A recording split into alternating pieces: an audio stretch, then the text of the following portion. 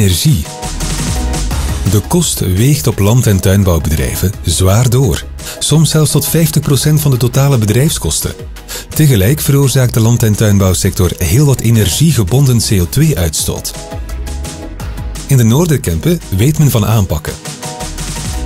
Het agro-energienetwerk Noorderkempen focust op energie en bedrijfsvoering. Partners zijn vijf gemeenten uit de provincie Antwerpen, het proefbedrijf Pluimveehouderij, het kenniscentrum Energie van Thomas More, het innovatiesteunpunt en de VZ2 Rurand. Met dit project wilden we vanuit de gemeente en kennisinstellingen insteken op meer duurzame energietechnieken op land- en tuinbouwbedrijven, waarbij uh, we keken naar het energieverbruik en ook naar de energieproductie, om die zo goed mogelijk op elkaar af te stemmen. We hebben uh, door verschillende activiteiten zowel aan kennisdeling als aan coaching gedaan en tijdens de verschillende netwerkmomenten verbonden aan die activiteiten hebben we gemerkt dat uh, heel wat land- en tuinbouwers over het thema verder diepgang zochten bij elkaar, dat ze in gesprek gingen, ondanks het feit dat ze elkaar niet kenden. Jan Voorstelmans uit Loenhout weet er alles van. Hij kweekt op zijn gemengd bedrijf onder meer de bekende Mechelse koekoek en heeft ook melkvee. De grootste verliespost uh, in, bij mij in de kipstal is, dat zijn de muren. Uh, het dak is goed geïsoleerd. Uh, de poort uh, heb ik ook een nieuwe geplaatst, maar dat ze nog een beetje... allee, ik kon geen sectionalpoort zetten en daarmee heb ik een, een rolpoort moeten plaatsen. En die rolpoort is eigenlijk 2 centimeter dik en dat is eigenlijk nog net iets te dun om alle verliezen op te vangen.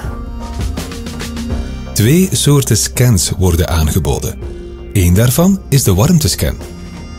Bij een warmtescan komen wij naar het bedrijf, liefst in de winterperiode en liefst in een periode waarin dat het in de stal zeer warm is, zodat het verschil tussen buiten- en binnentemperatuur zeer groot is. Wij gaan naar binnen in de stal en dan nemen wij eigenlijk van ieder deel van het bedrijf een foto, dus de muren allemaal, de achtergevel, de kopgevel en de plafond zodat wij eigenlijk een goed beeld krijgen. En op die warmtescan komen dan de, de stukken waar dat eigenlijk koude binnenkomt of, of warmte verloren gaat, in het blauw naar voren. En dan krijgt de, de landbouwer een rapport waarin dat dan uh, wordt aangegeven waar dat die koude bruggen zich op het bedrijf bevinden en wat hij daarmee kan doen. Jan gaat nu aan de slag met de tips en plant de investeringen in het meerjarenplan in.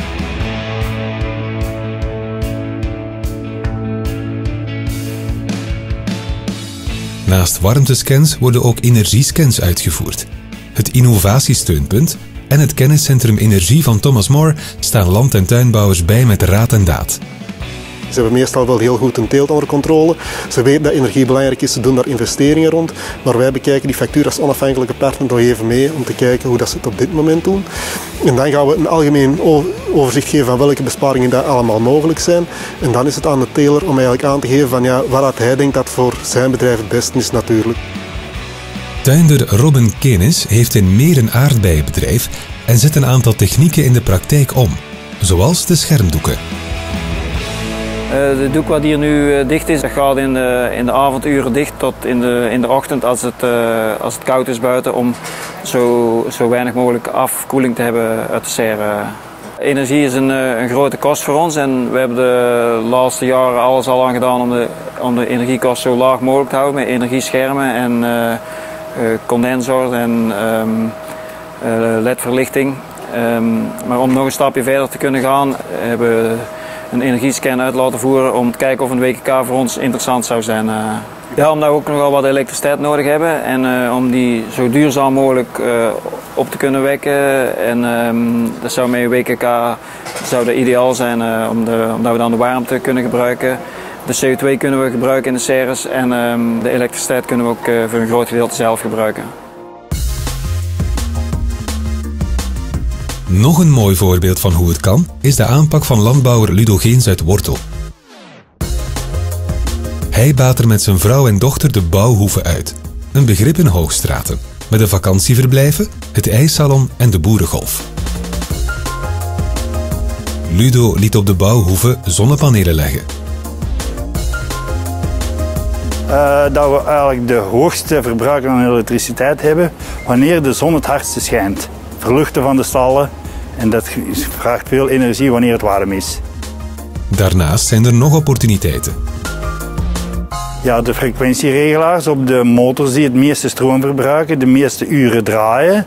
En uh, nu de ledlampen. LED-lampen die uh, verbruiken nog minder dan spaarlampen. En uh, destijds waren we gestart 20 jaar geleden met lampen van 40 watt. Dan zijn we naar de spaarlampen van rond de 10 watt gegaan. En nu zitten we met LED-lampen van 4 watt. Op hetzelfde lichtpunt. Consulent Laurens van de Lannote van het Innovatiesteunpunt geeft graag een tip. Elke landbouwer, ongeacht de sector, heeft wel ergens lampen hangen. En eigenlijk is ledverlichting een zinvol alternatief vanaf dat er in die ruimte elke dag drie uur het licht brandt. Nu hier op bedrijf brandt het licht 16 uur per dag, dus hier was dat echt absoluut een no-brainer om in ledverlichting te gaan investeren. Zonnepanelen zijn altijd de meest eenvoudige technologie om energieproductie op te wekken. Um, windmolens is een veel moeilijker verhaal. Zonnepanelen, u weet vooraf, ik ga zoveel energieproductie hebben. Lulu heeft hier een tiental jaar geleden al geïnvesteerd in zonnepanelen. Toen was het nog de gouden tijd van de groene stroomcertificaten. Um, en met zijn installatie kan hij ongeveer 160.000 kilowattuur elektriciteit opwekken. Lulu is een vrij uitzonderlijk landbouwbedrijf, want hier kan hij driekwart van zijn zonne-energie zelf verbruiken. Dat komt omdat hij een uh, pluimveeboer is. En het mooie aan de pluimveesector is, als er veel zon is, hebben de dieren ook veel warmte en dat moet allemaal weggeventileerd worden. Dus als er veel zon is, is er veel verbruik en dat is uiteraard een zeer goede match. Al deze energiemaatregelen kaderen perfect in het klimaatbeleid van de gemeenten. Net zoals alle andere gemeenten binnen de regio heeft ook Hoogstraten een klimaatactieplan opgemaakt. Bij de land- en tuinbouwbedrijven merkten we op dat er al heel veel kennis was. Dat zijn ook mensen die echt graag pionieren en innoveren. Maar uh, de kennisverdeling, uh, dat kon nog een beetje beter. Dus we hebben ook vooral daarop gezet. En daarnaast merkten we dat er ook nog heel wat mensen of bedrijven waren die toch nog nood hadden aan individueel advies om hen uh, te coachen om te komen tot meer energiebesparing.